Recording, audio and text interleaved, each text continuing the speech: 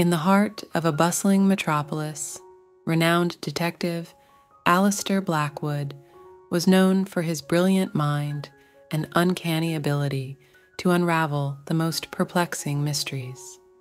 His reputation preceded him, drawing him into a case that would challenge his perception of the world and unveil a hidden society of extraordinary women.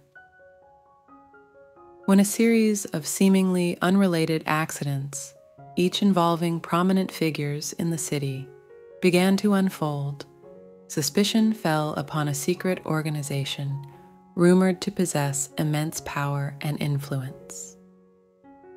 Alistair, intrigued by the enigmatic nature of the incidents, embarked on an investigation that would lead him to the very heart of this hidden society.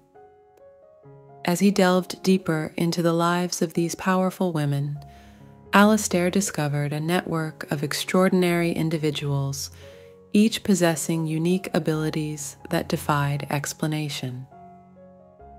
They had been working in the shadows, using their powers to protect the city from unseen threats, but their actions had been misinterpreted, leading to suspicion and fear.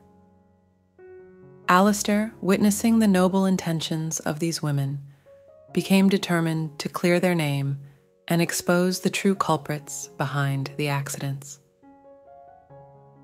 With his keen intellect and newfound understanding of the hidden society, he unraveled the intricate plot and brought the perpetrators to justice.